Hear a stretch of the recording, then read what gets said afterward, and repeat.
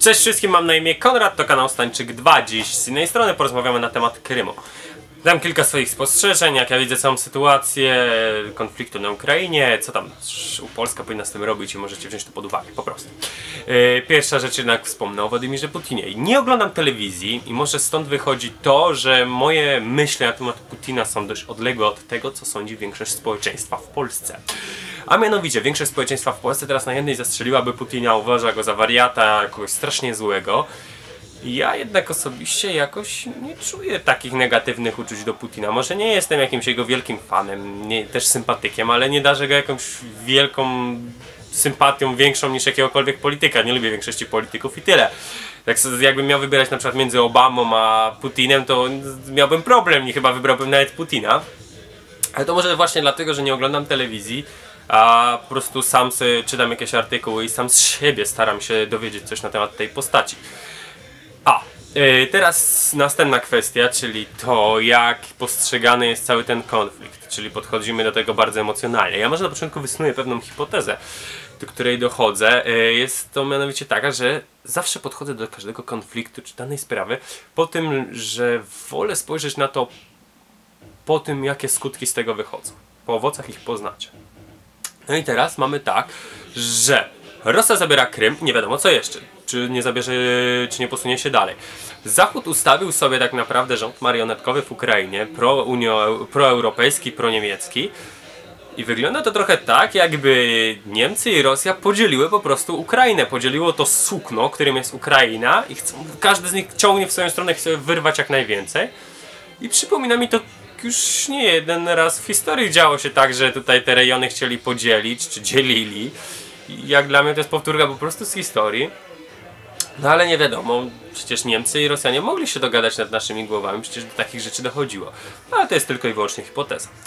Następna kwestia to jest właśnie powrót jeszcze do Władimira Putina. A mianowicie wygląda to tak, że Władimir Putin wysłał od, oddziały na Krym. O ja, jak on mógł, tak?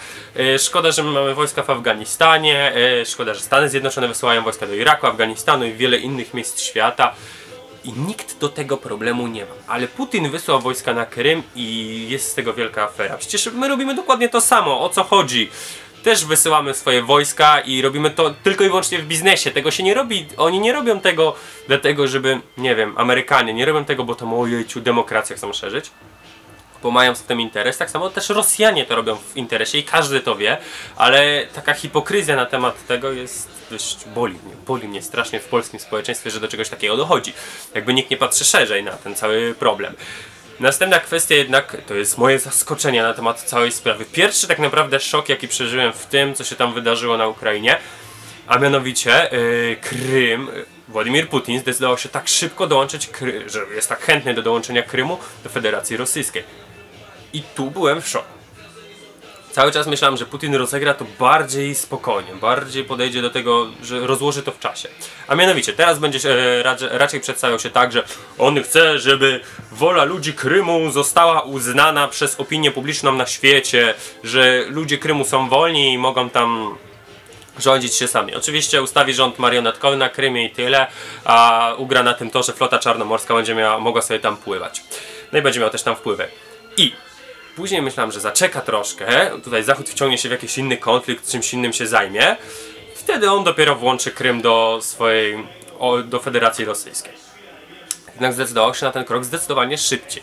No i co z tego może wynikać? Pierwsza kwestia jest taka, że Putin po prostu przesadził. Miał jakieś ambicje tutaj odbudowy Imperium Rosyjskiego, mokre sny, że będziemy tutaj znowu potęgą. I no, są w sumie, ale jeszcze większą. I no i teraz zajmuje y, Krym i tutaj ale może się przeliczyć gospodarczo, bo przecież jest po igrzyskach w Soczi, które były dość drogie. Jest też yy, nakładane są na niego sankcje, które mogą zniszczyć Rosję gospodarczo i samego Putina wprowadzić problemy. To jest pierwszy wniosek, jaki może się nasunąć. Drugi wniosek jest taki, że Putin to sobie dobrze policzył. Wie, że Zachód jest też nie najlepszej sytuacji gospodarczej. Unia Europejska ma wiele problemów gospodarczych, choćby Grecja. E, Poza tym zbliżają się wybory i tutaj Putin znowu jest w komfortowej sytuacji, bo u niego wybory to po prostu farsa, on wiadomo, że on będzie rządził.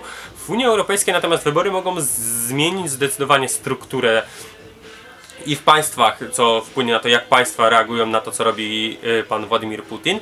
I oczywiście też jak sama Unia y, będzie nakładała jakie sankcje, jak podejdzie do całej sprawy Rosji. Więc tutaj wszystko się może zmienić, a Putin może sobie cały czas y, kontynuować swoją politykę, którą już sobie obrał. No i y, Stany Zjednoczone są wciągnięte jeszcze w wiele konfliktów, które też muszą opłacać. Nie stać ich na nowy konflikt w Ukrainie, więc tak naprawdę możliwe, że Władimir Putin sobie dobrze policzył. Co z tego wyjdzie, nie wiadomo. Nie wiadomo, kto lepiej policzył, to pokaże nam przyszłość. Teraz, jak w tej przyszłości powinna zachować się Polska, moim zdaniem. Yy, Pierwsza kwestia, mamy rów, siłę równowagi lub Unia Europejska wygrywa bardzo dobrze, jednak musimy być cały czas czujni i starać się, yy, oczywiście ja wiem, że Polacy mają ambicje regionu, bycia regionem Unii Europejskiej, jednak można by się pokusić o to, że na przykład jak Rosja upadnie, to zająć Kaliningrad? Nie, no to akurat sobie żartuję. Ale w razie czego zabezpieczać się różnymi sojuszami, na przykład z państwami środkowej Europy, Węgry na przykład, czy z państwami nadbałtyckimi, czy z państwami skandynawskimi, żeby w razie czego być pewnym bezpieczeństwa tego, że Rosja nam nic nie zrobi. Oczywiście bardzo dobrym sojuszem byłyby Chiny, lecz tutaj może być problem, ale byłby to cenny sojusz, bo świetnie rozkrzyżlałby on Rosję, jest Chiny są ogromną potęgą. Yy, następna kwestia, jak może się to potoczyć, czyli Rosja jednak dobrze sobie policzyła i zaczyna wygrywać. Wtedy musimy szybko przemianować swoją politykę, zacząć współpracować z Rosją jak najbardziej, polepszyć swoje kontakty, bo nie ma co trzymać z upadającą e, Unią Europejską, bo tylko sami możemy się zatopić, sami się wciągnąć w kryzys. Lepiej wtedy naprawdę przemianować politykę, tak jak zrobiliśmy to w po 89. I jak w jakiś sposób dogadać się z Władimirem Putinem tutaj na temat kształtu tej Europy Środkowej, starać się coś na ten temat, e, coś ugrać w tym temacie. Bo właśnie, musimy pamiętać to, że polityka to gra cyniczna, w której nie można podchodzić emocjonalnie, w której trzeba do wszystkiego podchodzić spokojnie.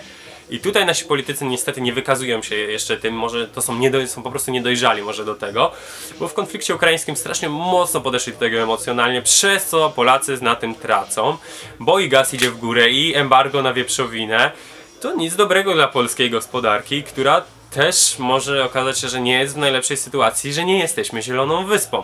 Dlatego uważałbym na to, na nasze poczynania i grał naprawdę ze spokojem i wyrachowaniem w kwestiach politycznych. No i właśnie, to tyle na temat mojej sytuacji na Ukrainie. Jeśli Wam się podobało, to lajkujcie. Jeśli chcecie oglądać mnie częściej, to subskrybujcie. Jeśli uważacie inaczej lub chcecie cokolwiek napisać, komentujcie. A to wszystko w tym temacie i trzymajcie się. Cześć!